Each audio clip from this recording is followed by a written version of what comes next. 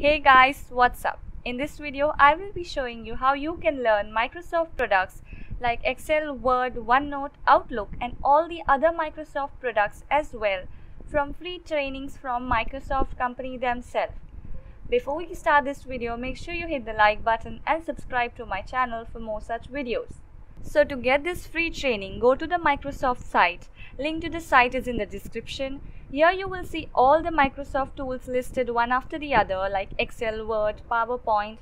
These all are the trainings. Let's open Excel and see what is there in it.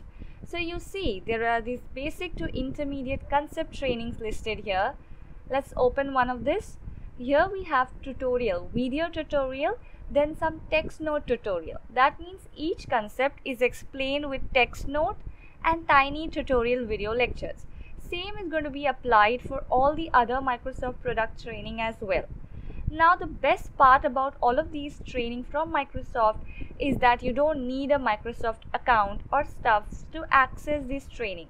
You just have to simply go to this site. I have provided the link in the description and start whichever training you're interested in without signing into any account.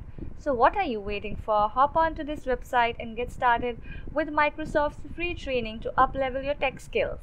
If this video helped you, make sure you hit the like button, subscribe to my channel and while you subscribe, don't forget to click the bell icon as well.